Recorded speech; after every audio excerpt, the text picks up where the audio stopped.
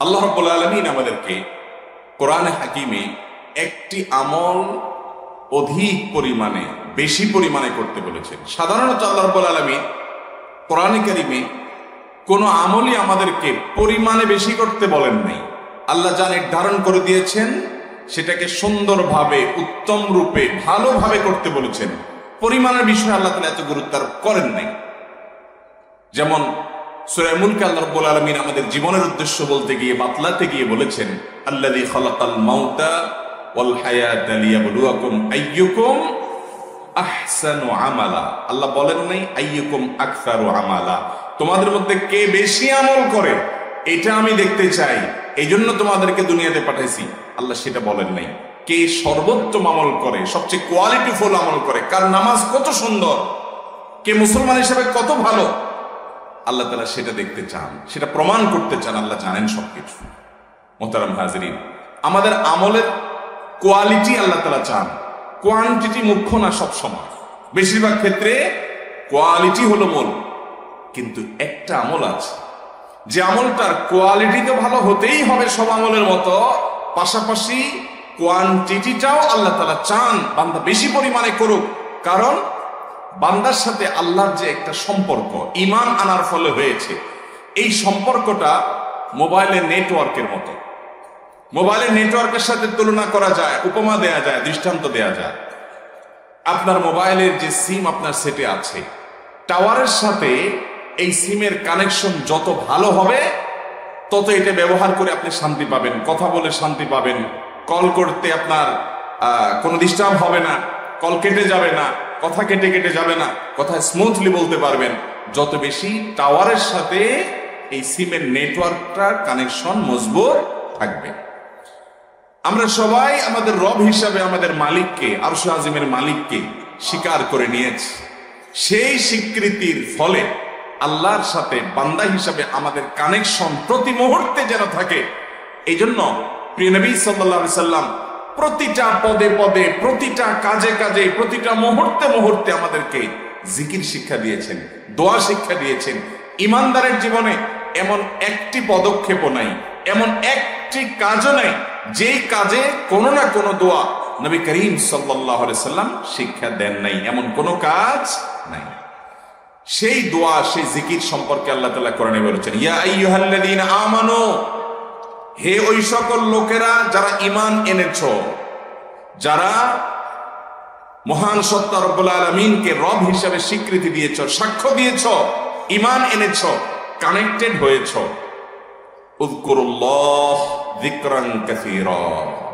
তোমরা আল্লাহর জিকির করো। অধিক পরিমাণে, বেশি পরিমাণে, সাধারণ না অন্য আমলের মতো, জিকিরের পরিমাণটা হতে হবে সবচাইতে বেশি। আল্লাহ বলেন নাই কোরআনে কোথাও, তোমরা বেশি বেশি নামাজ পড়ো। পাঁচ শক্ত নামাজের পর নফল নামাজ বেশি পড়লে ভালো। কিন্তু আল্লাহ তালা আলাদা করে বলেন না যে, নামাজের রাকাতের সংখ্যা অনেক বেশি করো। হ্যাঁ বেশিও করার চেষ্টা করতে হবে, কোয়ালিটি ঠিক রেখে। কিন্তু এই আমলটা এমন আমল, জিকির, যেটার পরিমাণ আল্লাহ বেশি করে করতে বলেছে। আল্লাহ তালা উন্নয়তে বলেছেন ওদকুর রব্বাকা ওদকুর রব্বাকা তুমি তোমার রবের জিকির বেশি পরিমাণে নবী করিম সাল্লাল্লাহু সাল্লাম বলেছেন, মাসালুল্লাযী ইয়াযকুর ওয়াল্লাযী লা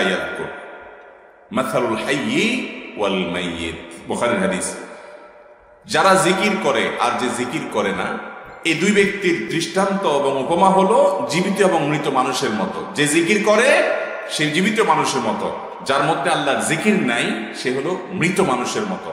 কারণ তার রুহ, তার আত্মা, এটা আল্লাহর সাথে কানেক্টেড না। এটা ডিসকানেক্টেড মৃত মানুষের মতো। দুনিয়ার মানুষ তাকে জীবিত দেখছে, সে আক্ষরিক অর্থে জীবিতও বটে। হাকিকাতান, এবং অন্তর্নিহিত ভাবে যখন তাকানো হবে, তার এক কল তার মালিকের সাথে কানেক্টেড না থাকার কারণে সেটা মরা। এই মরা অন্তর আর জিন্দা অন্তরের ভিতরে আসমান এবং জমিন পার্থক্য।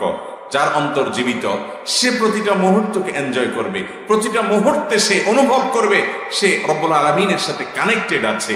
সে একটা শক্তি অনুভব করবে সব সময় আল্লাহ তাকে দুনিয়াতে অভূতপূর্ব এক স্বাদ এবং তৃপ্তি দিবেন। আখেরাতেরটা তো আছেই। এই জন্য বেশি বেশি জিকির করার চেষ্টা করব না, ইনশাআল্লাহ।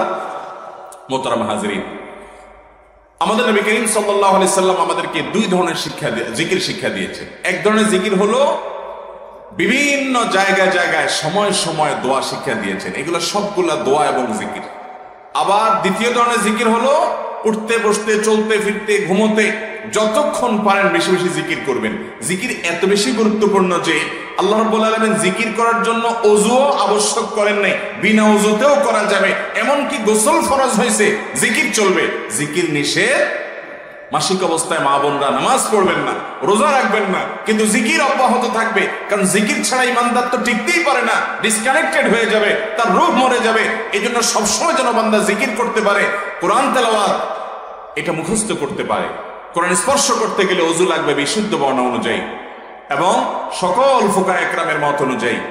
কিন্তু জিকির করার জন্য তাসবি তেলাওয়াতের জন্য, মুখে উচ্চারণ এবং পাঠের জন্য অজুর প্রয়োজন কারণ এটা এত জরুরি যে অজু করে কুলামেরা বান্দা, যাতে অজু অবস্থায়ও করে, বিনা অজুতেও করে সব সময় মোহতারাম হাজিরি আমাদের বেশিরভাগ মুসলমানদের অবস্থা হলো আজকাল যে নবী করিম সাল্লামের জিকির, যখন তিনি যে জিকির বা দোয়া করতেন, আমাদের দেশের বেশিরভাগ মুসলমান ভাইরা তার একশো ভাগের এক ভাগ জিকির সম্পর্কেও আমরা ওয়াকিফ হাল না, জানি না, আমল তো পরের কথা।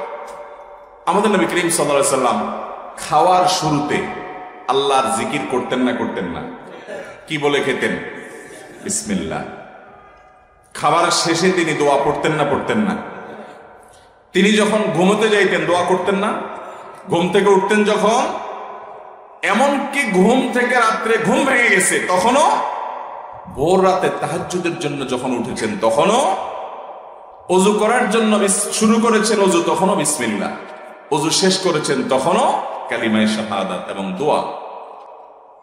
ঘর থেকে বের হচ্ছেন, মসজিদে যাবেন, তখনও বিসমিল্লাহি তাওয়াক্কালতু আলাল্লাহ, বিসমিল্লাহ।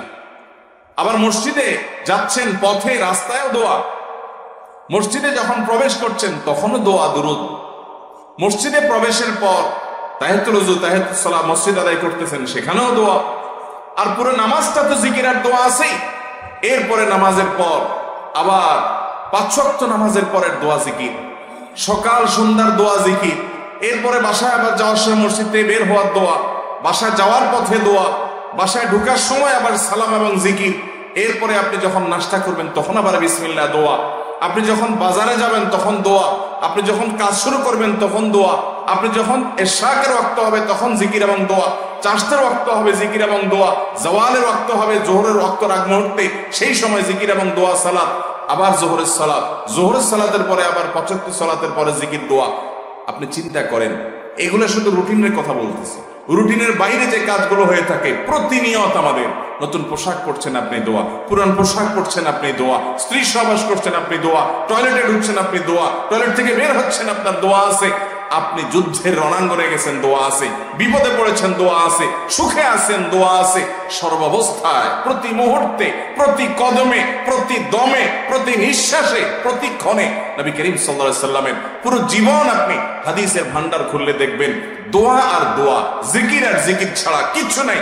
আল্লাহ তালা যে কোরআনে বলেছেন এই ইমানদাররা তোমরা আল্লাহকে বেশি বেশি জিকির করো আল্লাহর স্মরণ বেশি বেশি করো আল্লাহর স্মরণ বাজারে গেলে তখনও থাকবে ব্যবসা করব তখনও থাকবে চাকরি করব তখনও থাকবে ঘুমাবো তখনও থাকবে ঘুম ভেঙে যাবে তখনও থাকবে উজু করতে যাব তখনও থাকবে গোসল করতে যাব তখনও থাকবে মসজিদে প্রবেশ করব তখনও থাকবে কারোর সাথে সাক্ষাৎ হবে তখনও থাকবে মুসাফা করব তখনও থাকবে মোয়ানেকা করব তখনও থাকবে, স্ত্রী সবাস করব তখনও থাকবে খাওয়া দাওয়া করব তখনও থাকবে, টয়লেটে যেতে বের হতেও থাকবে।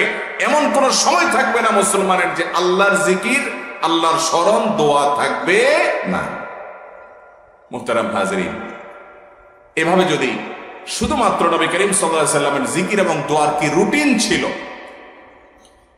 কীভাবে তিনি প্রতিটা পদে পদে কোন কোন দোয়া জিকির করতেন? ঘন্টাকে ঘণ্টা বলে শেষ করা যাবে এত পরিমাণ দোয়া জিকির করতেন। এর কয়টা আমরা প্রতিনিয়ত সারা দিন চড়া চব্বিশ ঘণ্টা সবাই নিয়মিত আমল করি, হিসেব করলে খুব বেশি একটা পাওয়া যাবে আমাদের জীবনে? আহা, অথচ আমরা নিজেদেরকে মুসলমান দাবি করছি। অতএব, ওই যে আমার আগের করা চুক্তি অনুযায়ী, কাল থেকে ইনশাআল্লাহ কিছু কিছু দোয়া, কিছু কিছু জিকির আমরা অন্তত পাঠ করা সুন্না অনুযায়ী, হাদিসের বর্ণনা অনুযায়ী শুরু করব তো ইনশাআল্লাহ। আল্লাহ তালা আমাদেরকে তৌফিক দান করুন।